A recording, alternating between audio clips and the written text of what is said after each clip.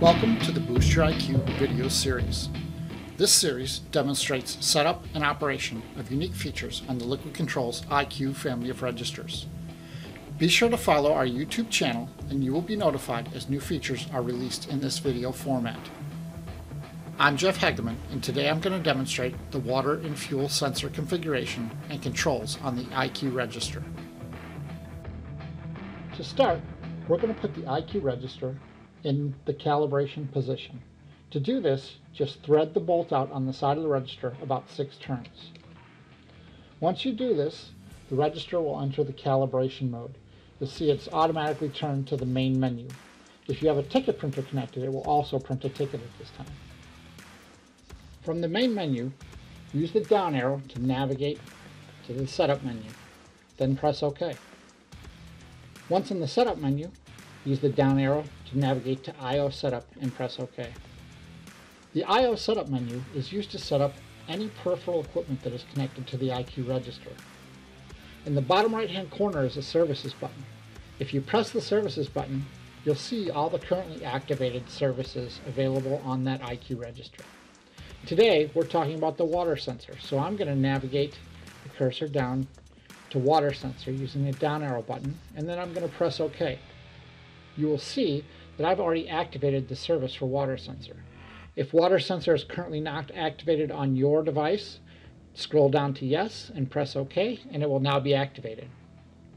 Once activated, press the water sensor button in the bottom right hand corner. From this screen, we can begin to set up the water sensor. The first option is to choose which analog input we're going to utilize. If we press OK on analog input, this will give us a drop-down box showing all the available analog inputs.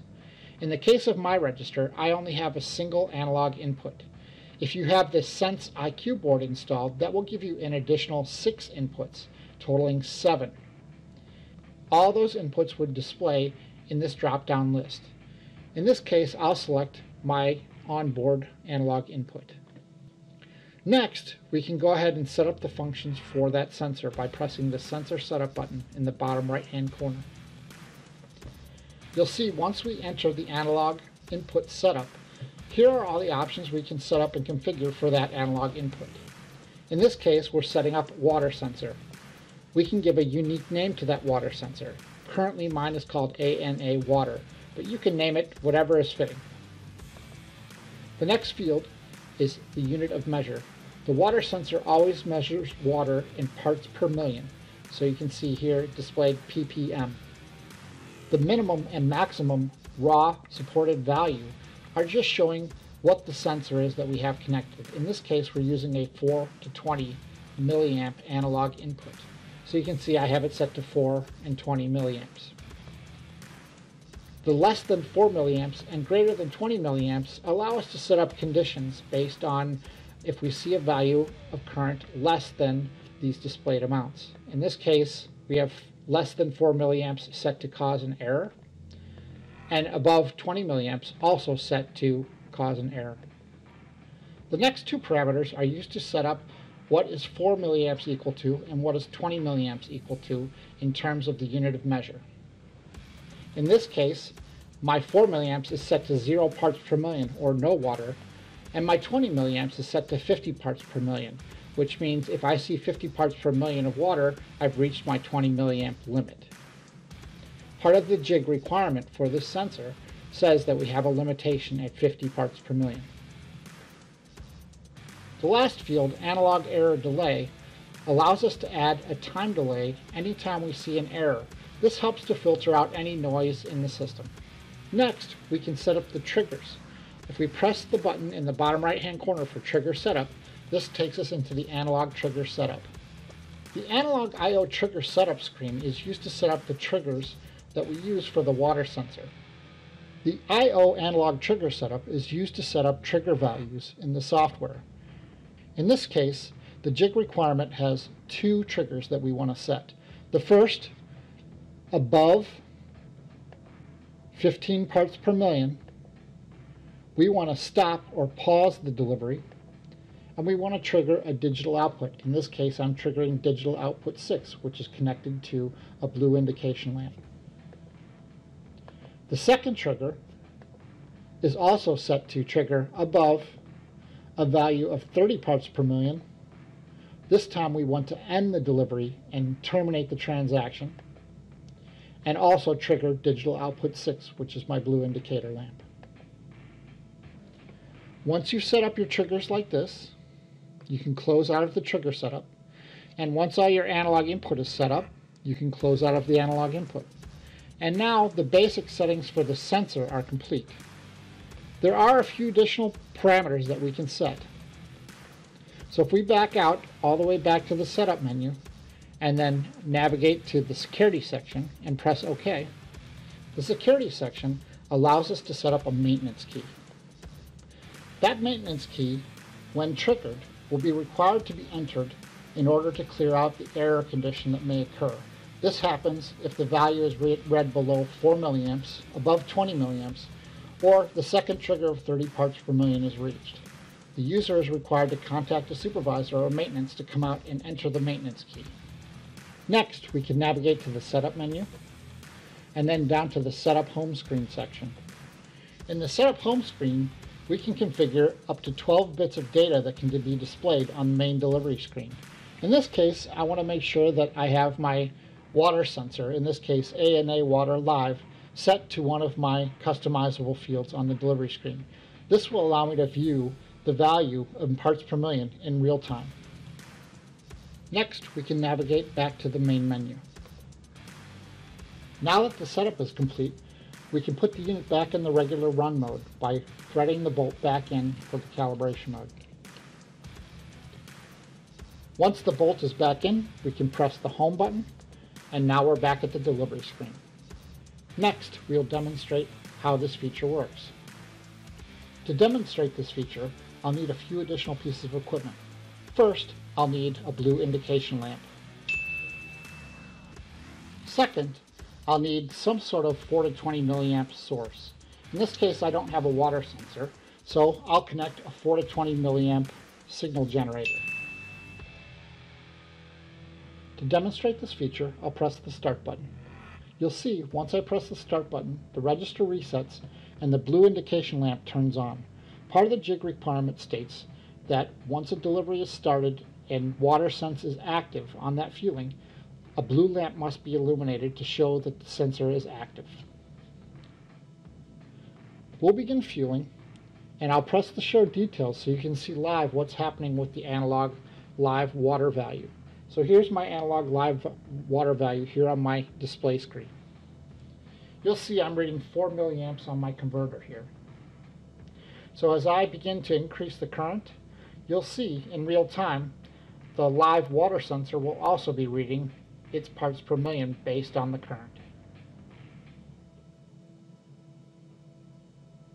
Remember, our first trigger value is set to 15 parts per million. So once I get above 15 parts per million. After the 10 second delay that's built into the software, the system will pause the delivery. Once the delivery has been paused, you'll notice that the alert screen is displayed on the IQ register, and also that the blue indication lamp is now flashing in a slow manner, about once per second. You'll see on the screen an alert for the fueler that the water sensor shutdown has been detected it'll show you what the threshold of 15 parts per million was and what the value was that the sensor was reading, in this case 16 parts per million. It will also tell the fueler that a fueling has been paused due to the detection of water above the triggered volume that's been set. It recommends that a chemical water detection test should be performed. However, at this point in the fueling, once they have done the chemical water detection test and validated that the system is okay to fuel, they can press OK, then resume, and now they can continue fueling. You'll notice that the blue light is again illuminated in a solid fashion and that they continue fueling. Now, if we turn up the analog signal even more, and we surpass our second trigger value of 30 parts per million, again after our 10 second delay, once the register has surpassed the 30 parts per million mark, you'll again see a display screen showing water sensor shutdown detected.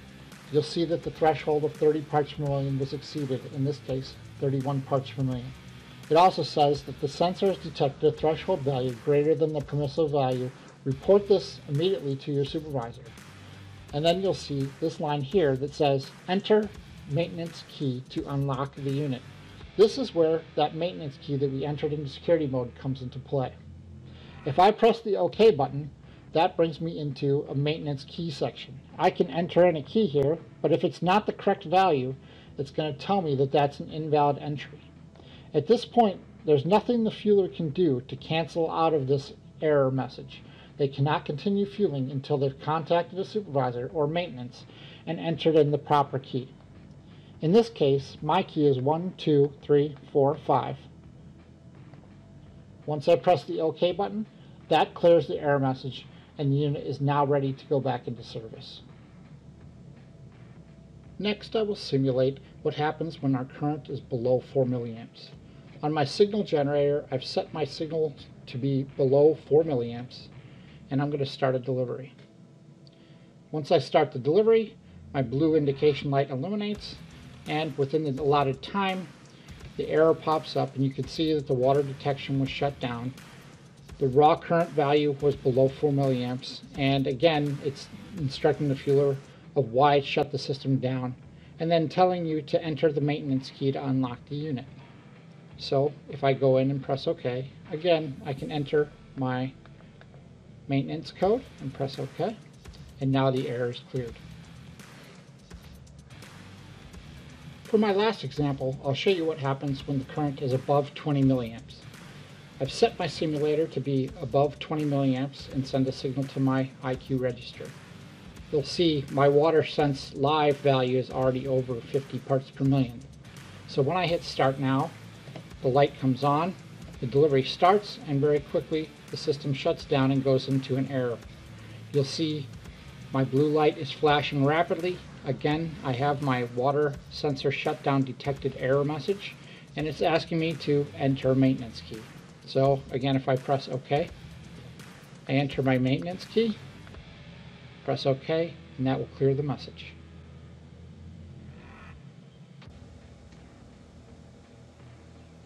This concludes our Boost Your IQ session on WaterSense. Should you have any further questions or comments, please do not hesitate to contact Liquid Control's Customer Service Department. Thank you for your time.